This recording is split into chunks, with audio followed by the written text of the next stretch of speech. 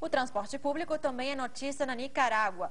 Uma greve dos trabalhadores do setor chegou ao fim graças à mediação do governo. A reportagem é de Adriana Sivori. Em Manago, o transporte coletivo circulava em baixa velocidade devido a uma operação tartaruga, onde os trabalhadores reivindicam melhores salários. Os passageiros esperavam irritados.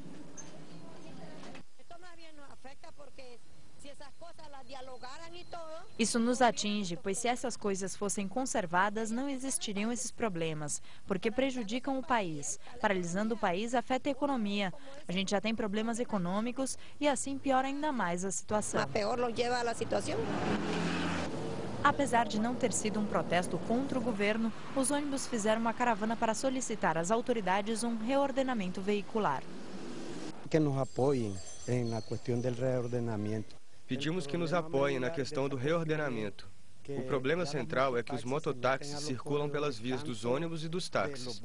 E somos concessionários que pagamos os impostos. Em compensação, eles não. Pagamos todos os impostos, em cambio eles não andam nada.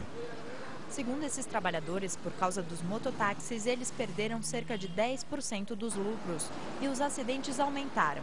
Apesar disso, eles afirmam que não querem prejudicá-los que eles têm direito, pero estão... Eles têm direito, mas estão regularizados nos municípios, nas comarcas. Nós não estamos dizendo que deixem de trabalhar. Eles têm direito de trabalhar, mas que não entrem onde não estão autorizados. Por duas horas, mais de 700 ônibus e várias cooperativas de táxis não levaram passageiros. A greve terminou com a promessa governamental de encontrar uma solução satisfatória para todos. Adriana Sivori, Telesur, Manágua.